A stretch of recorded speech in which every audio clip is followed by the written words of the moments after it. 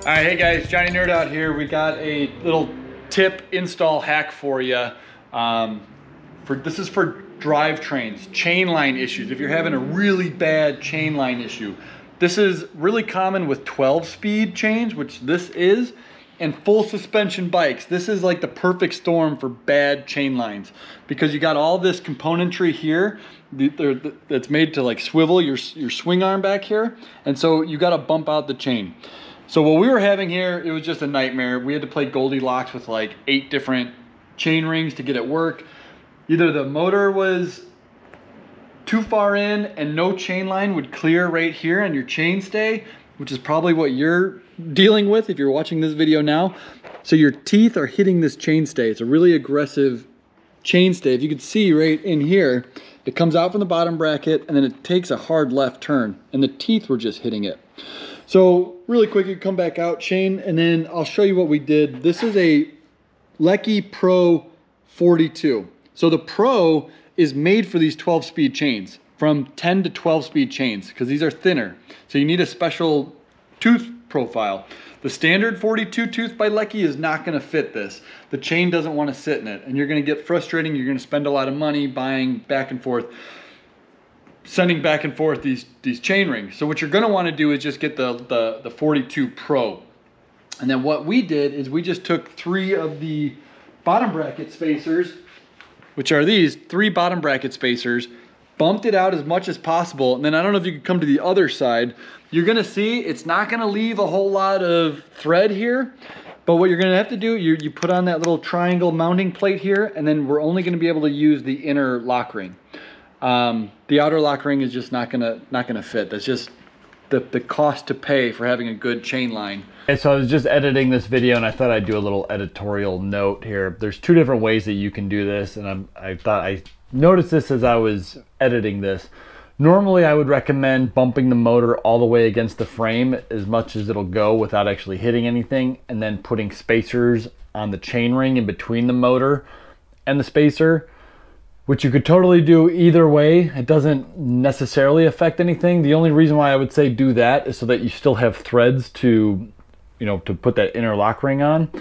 If you have plenty of threads, like we do, we have plenty of threads. We just won't be able to put the um, outer lock ring on, most likely. Um, then you could use it either, either way bottom bracket spacers are way cheaper than the uh, chainring spacers, and I would have to put on probably four or five of those at like eight bucks a pop. So that's like fifty dollars in little tiny spacers. Or those bottom bracket space bottom bracket spacers are about a dollar a piece. So it was an economic choice that I just went that way.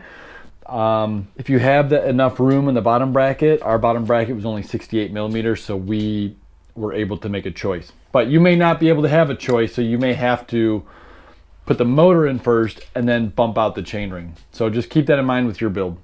Yeah, so if you're running into this issue, Lekkie Pro 42 is the chainring you need. And now look at, before we were putting on the stock 40, the 44, we were trying this with the BBS 02. This is a BBS HD motor. The stock 44 tooth, the chain fit, but the chain line was, was terrible. And the stock chain, chain ring teeth don't grab onto the chain. The Lekkie, its narrow, wide tooth profile, grabs onto the chain because the chain has narrow, wide links.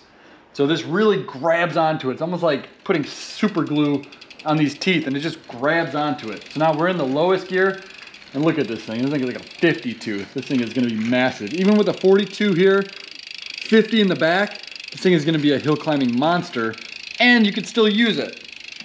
So, the Pro HD, it's only made for the HD. So if you're having chain line issues, if you got a 12 speed, you're gonna wanna be looking at the HD. I, I would probably avoid going with the O2. There's still a chance you might be able to get it to work, but yeah anyways, hopefully this helped you guys. If you're running into this, if you have a full suspension bike with a 12 speed, especially, you're gonna wanna go with the HD with the HD Pro chain line. Uh, if you got more help, call the shop, book a consultation, um, go to the website, johnnynerd.com for more help if you wanna do a deep dive onto your specific bike to hopefully help you know, not waste a bunch of money. These aren't super cheap, so you don't want to be buying these and then sending them back and returning them. You want to buy it right the first time if at all possible. So head to JohnnyNerd.com. We'll help you get squared away the first time. Thanks, guys.